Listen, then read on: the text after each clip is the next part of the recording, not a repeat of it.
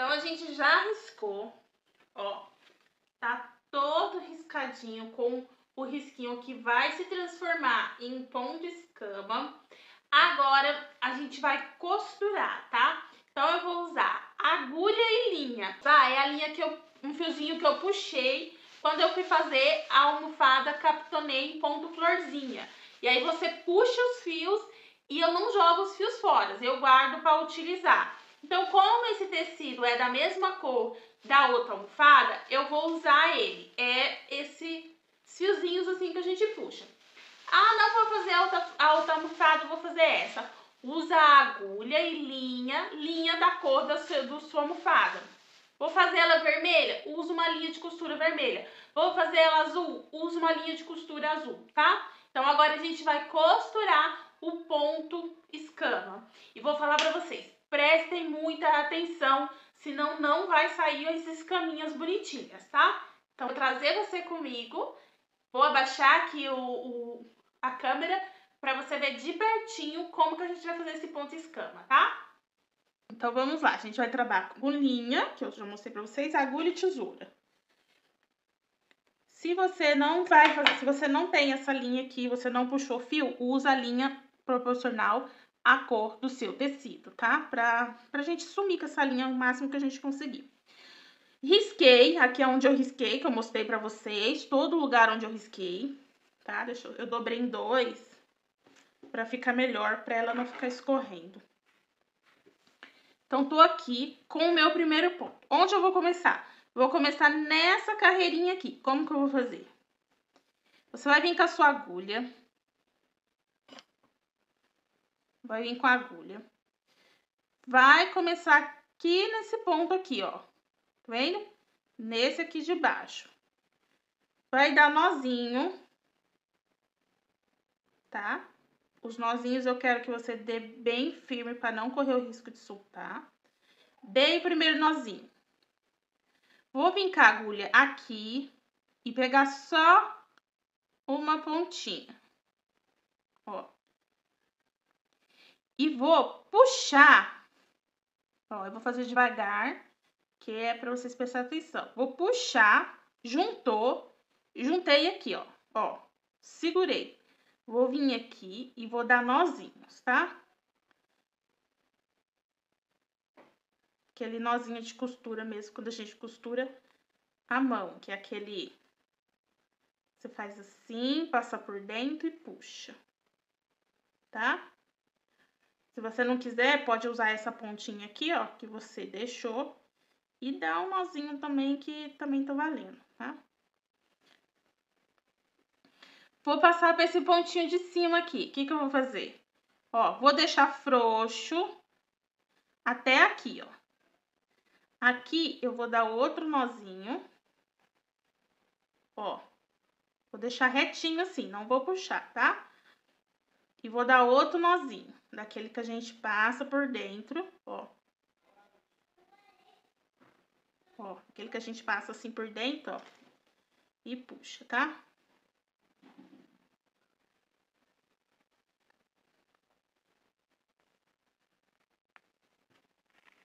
Ó. Aquele nozinho de costura, tá vendo? Ficou assim. Tudo bem até aqui? Aí, agora, eu vou vir aqui, ó, onde eu fiz o risco. Vou pegar um fiozinho. Ok? E aqui eu puxo. Juntei, ó. Juntei com a agulhinha no meio dos dois, pegando os dois, eu dou um nó, amarrando esses dois, tá? Ó. amarrei, ele não solta mais. O que, que a gente pode fazer aqui? Aquele amarrinho assim, ó. Passei, cato a linha, dou duas voltinhas, três voltinhas aqui puxo. Ele também não sai, tá? Dessa maneira, ó. Vou cortar. Cortei. Retirei. Isso você vai fazer em todos em duplas assim, ó. Em duplas não. é, você poderia pegar de lá pra cá e ir fazendo em um por um, tá? Mas eu quero... Vamos fazer, então, tá? Então, ó, vamos fazer tudo nessa, nesse risco de cá. Vamos pegar ele todinho e vamos fazer ele... Isso que eu tô falando pra vocês, emendar eles, ó.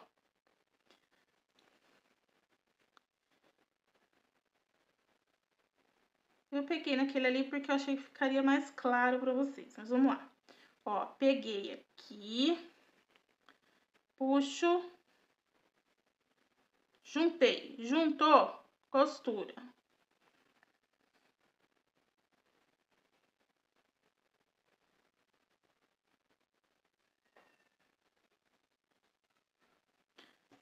Costurei, vou no próximo pontinho. Ó, aqui você procura não puxar, deixar assim, tá? E aí, você dá um nozinho aqui, pra caso quando você puxar, esse daqui não, esti não puxar também, tá? Então, deixa isso aqui mais larguinho. Venho nesse ponto aqui. Ó. Puxei, juntei. Costurei.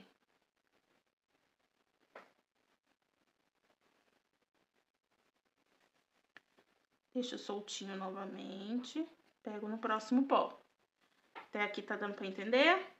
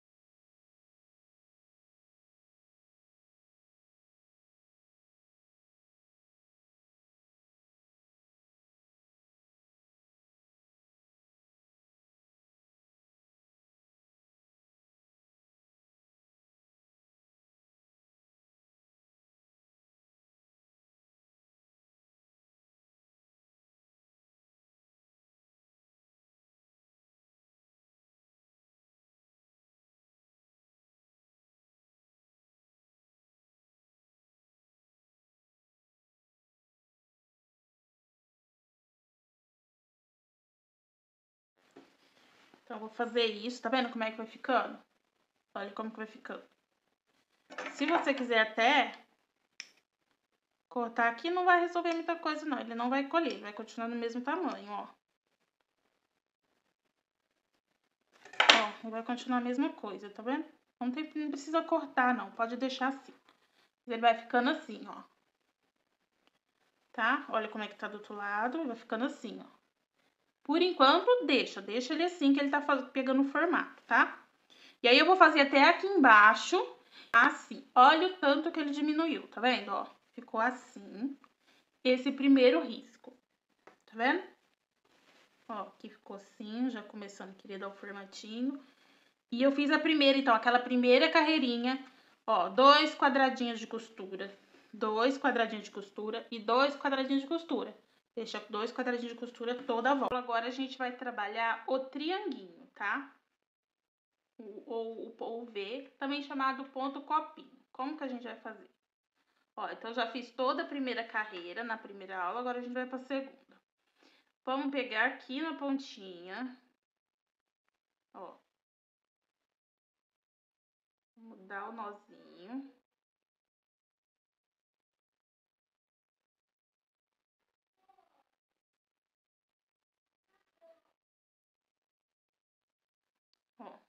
Tá?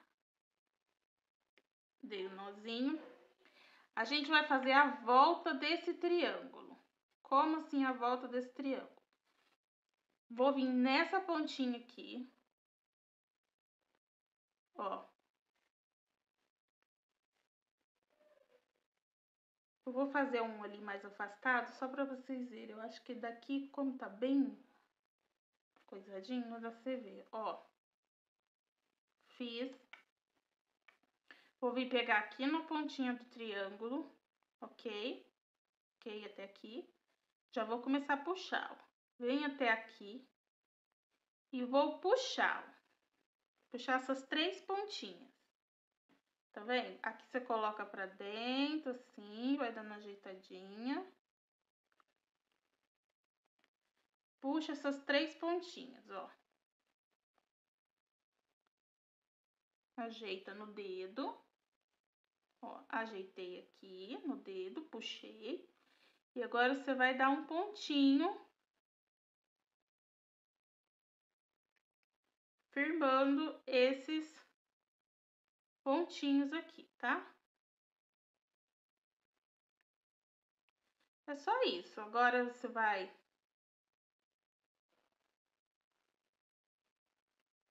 amarrar, dar um nozinho, né? Vou amarrar assim mesmo, pra ficar melhor pra vocês verem. E vou cortar. Ó, eu vou fazer nesse daqui, ó, pra vocês verem melhor como é que é feito, tá? Então, ó, como que eu vou fazer agora nessa próxima carreira? Eu vou fazer assim. Vou pegar aqui na pontinha do triângulo, do Vzinho.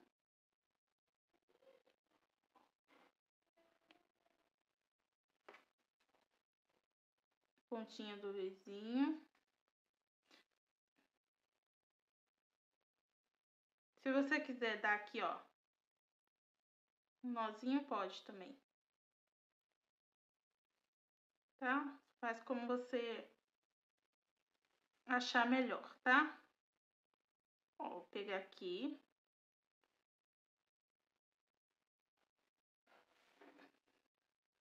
Ele fica escorrendo da mesa e aí eu saio do ângulo, mas é isso aqui, ó. Pronto, deu um nozinho, tá? Você vai contornar o triângulo dessa maneira aqui, ó. Ó. Quero mostrar pra vocês esticadinho pra vocês terem noção. Venho nessa pontinha aqui. E nessa aqui. Volta aqui onde eu comecei. Tá vendo que você contornou o triângulo? Aí você puxa. E une todos os três. Os três laterais, as três pontinhas. E dá um pontinho.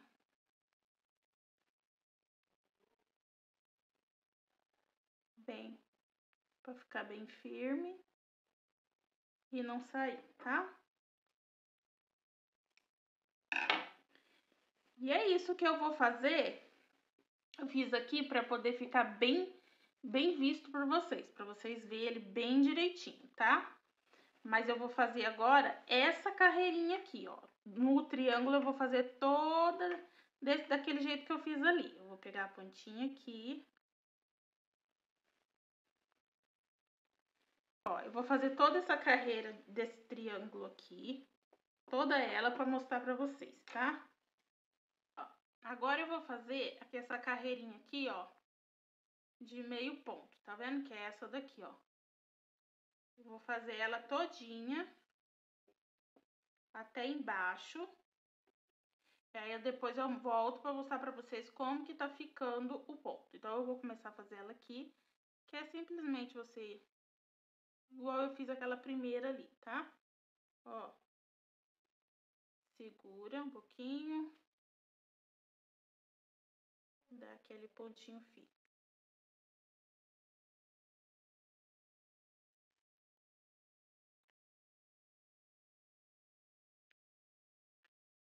E une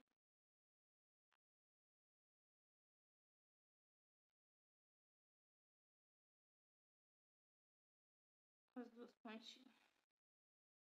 Então, eu acabei de bordar, já fiz o ponto. Ó por que que ele chama ponto copinho, porque ele parece um copinho mesmo, tá vendo, ó? Aí você vem, ó, arrumando, tá vendo? Ó, arrumando todos eles. Ó, arrumando os pontinhos, aqui são os últimos que eu fiz, ó, arrumando. você vira do outro lado, ele tá assim, ó. Vendo todas as escaminhas, só que você vai perceber que as escaminhas, elas não estão muito bem definidas, tá vendo? Elas teriam que ficar assim, né? Pra ficar bem definidinha. Então, na próxima aula,